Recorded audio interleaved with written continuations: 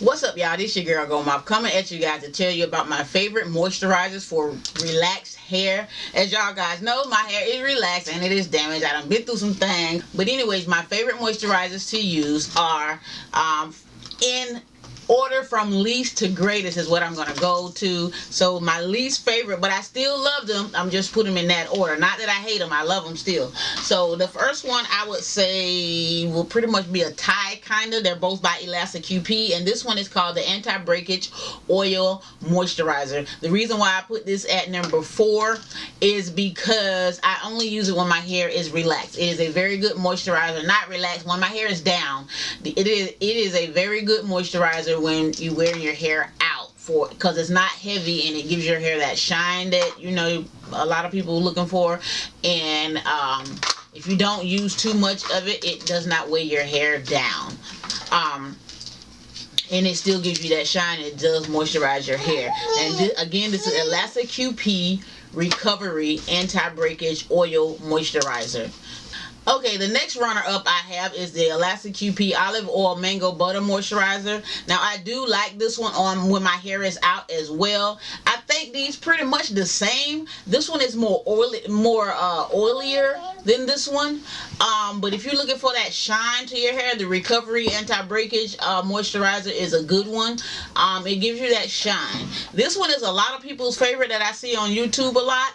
Um, tried it, and that's the reason why I tried it because everybody was like ranting and raving over it and so I say let me try it and see what's the, what's the hype about. But I guess those are people who wear their hair in like protective styles that are not long term because when I do protective style my hair I usually like long term protective styles. Now this might be good in a protective style that's not when I say long term I mean like four weeks or more.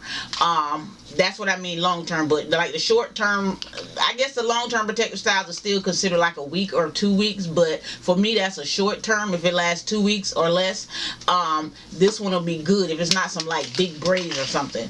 Um, so I like that one for up to two week styles. And my two favorites. I, I don't know. I guess I have to put these in the same category. Number two and number one. I don't know which one is number one. I guess I guess it would be safe to say the S-Curl Spray is my number one. Because I use it the most. Not that it's my favorite. Because I think this one is my favorite.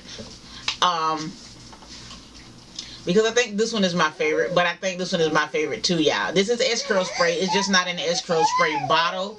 Um, I repurposed it, uh, not repurposed it, just put it in another bottle, and I add water to it to stretch it out. So because I always buy the big one liter Curl Spray, and so I add it to this bottle, and I put water in it just to get my money's worth out of y'all. You know, I be just got to stretch, and it still serves the same purpose. It don't make it runny. It don't make it, you know less of a of a product it still has to carry the same weight when you add water and I love it, love it, love it for braided hair. When I have braids, it's my go-to thing because it's hard to get in between there with, you know, with your moisturizer. So once you get your hair a little couple of sprays of this and just spray it on there, you ain't got to worry about getting, getting, getting, trying to get in between the braids and get down up in the braid that's twisted together. You don't have to worry about that with this spray because it's going to penetrate through all of that because it is a liquid. Okay, this one this one is the Mega Growth Daily Leave-In Strengthener Break Free by Profective.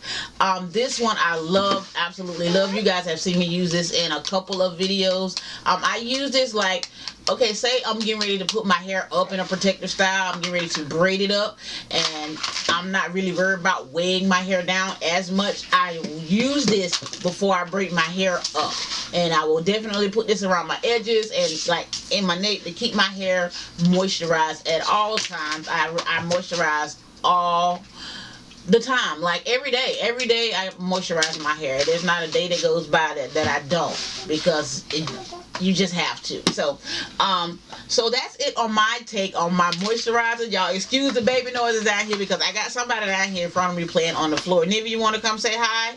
Hi Okay, she she said it, but that's good. We're gonna leave her at the video, child. So, anyways, y'all, that's all I got to say in this video. Y'all, thanks for watching. I had a very great week with you guys this week. I really appreciate everything for real, for real.